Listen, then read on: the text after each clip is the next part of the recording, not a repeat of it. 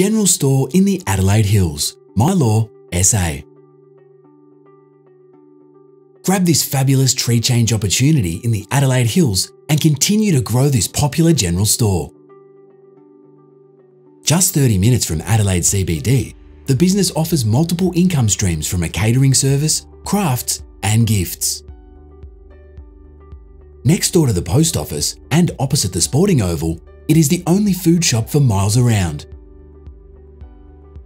The original premises from 1895 have been updated with solar panels, an upgraded kitchen, and new flooring. With seating inside and out, customers include locals, passing tradies, tourists, bike riders, hikers, and more.